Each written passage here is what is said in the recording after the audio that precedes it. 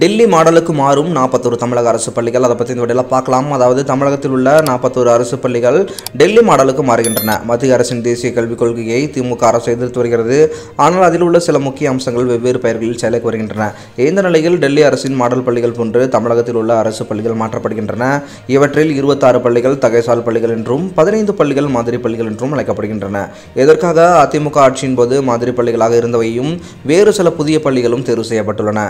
இதற்கான துவக்க விழா வரும் ஐந்தாம் தேதி சென்னை பாரதி மகளிர் கல்லூரியில் நடக்கிறது. இதில் டெல்லி முதல்வர் அரவிந்த் கெஜ்ரிவால் பங்கேற்று தமிழக அரசின் டெல்லி மாடல் பள்ளி திட்டத்தை துவக்கி வைக்கிறார்.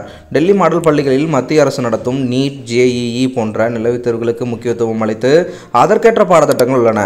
தேசிய கல்விக் கொள்கையில் அமைந்துள்ள தேசபக்தி பாடத்திட்டமும் அமல்படுத்தப்படுகிறது. இது தவிர ஆஸ்திரேலியா கல்வி ஆராய்ச்சி அமைப்பு ஹார்வர்ட் பல்கலைக்கழகம் மத்திய அரசின் ஐஐடி நிறுவனங்கள் என்ஐஎஃப்டி நிறுவனங்களுடன் இணைந்து பாடத்திட்டங்கள் தயார் செய்யப்பட்டு அமலில் உள்ளன. கலை இசை யோகாவுக்கு முக்கியத்துவம் தரப்படுகிறது. அது மட்டும் இல்லாமல் இந்த மாடலை பின்பற்றி தமிழகத்தில் செயல்பட உள்ள நாற்பத்தோரு பள்ளிகளிலும் கூடுதல் மொழி கற்பித்தல் தேசபக்தி பாடத்திட்டம் நுழைவுத் பாடத்திட்டம் போன்றவை அமல்படுத்தப்படும் என எதிர்பார்க்கப்படுகிறது.